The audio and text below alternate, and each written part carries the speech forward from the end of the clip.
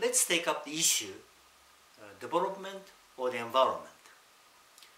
Uh, nowadays, everyone recognizes the importance of the environment uh, in the process of economic development. Uh, however, uh, there is difference in uh, adopting, say, emissions targets, like greenhouse gas emission targets. Side A is to adopt the target that is to regulate the ratio of emissions to GDP so that the GDP is allowed to grow uh, so long as the uh, greenhouse gas emissions will grow slower than the uh, GDP. Whereas side B is to regulate the absolute level of uh, greenhouse gas emissions so that the, there will be no more you know, the uh, greenhouse gas accumulation in the air. Of course, to avoid the uh, global warming and the uh, climate change.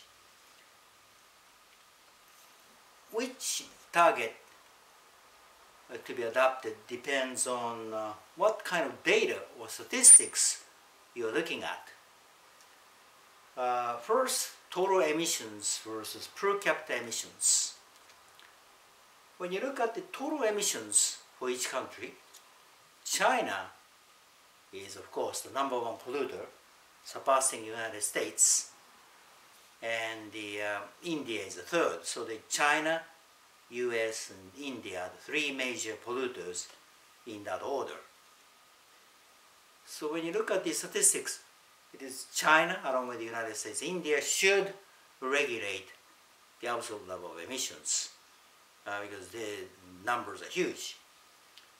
Whereas uh, uh, if you look at the per capita emissions, there's a difference between the advanced economy like the United States, which has a very high number of uh, per capita emissions, and the uh, developing economies like China and India, which have relatively low numbers there. In fact, uh, China has only one third of the US level in terms of per capita emission, and in India that's one tenth of the US level. So, uh, according to these numbers and statistics, one might argue that the United States should regulate the absolute level, but China, India, and other developing nations should allow to grow further to catch up United States economically while reducing the emissions per GDP for energy efficiency.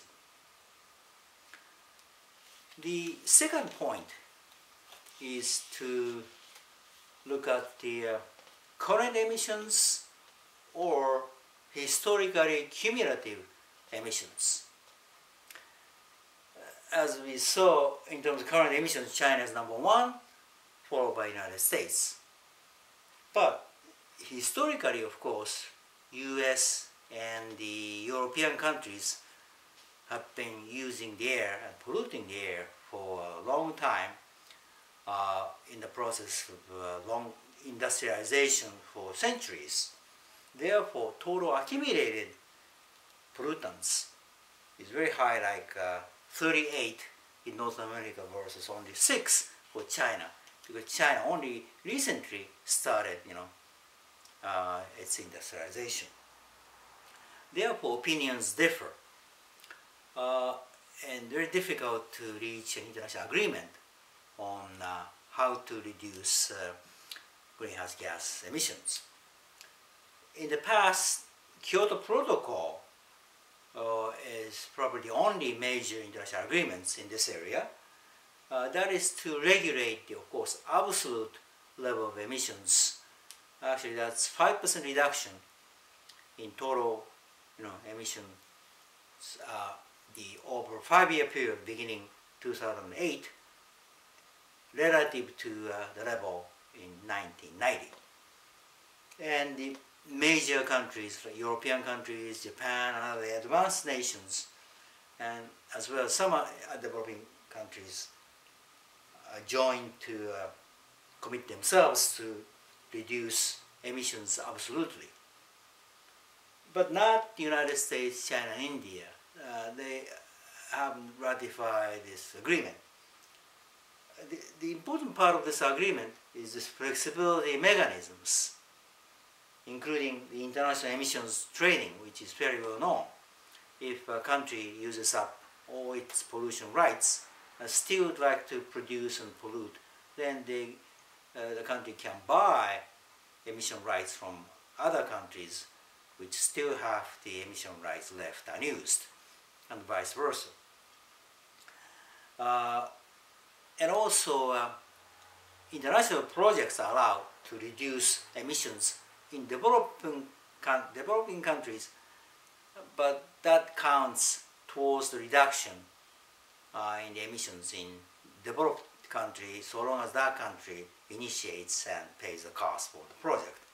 So where the emissions are reduced really doesn't matter so long as the uh, participating countries can uh, will initiate and then bear the burden.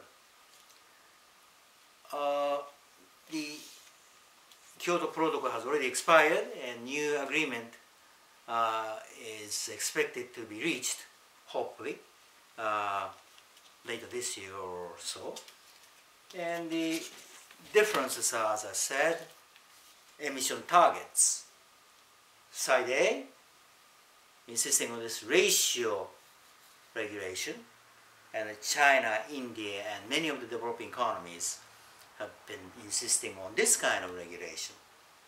But China lately changed their mind after talking to the President of the United States, and then China and the United States kind of agreed to join the new treatment, new agreement to be reached to regulate the absolute emissions uh, along with other countries, 200 uh, nations, of course with the flexibility mechanisms.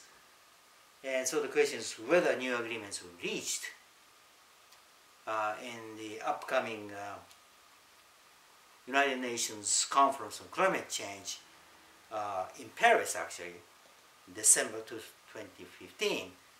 Uh, and the basic principle has been approved by these 200 nations uh, last December in Lima, Peru, and the, we'll wait and see whether a new agreement will be reached among these 200 nations, including the United States, China, possibly India, and other developing nations uh, in the near future.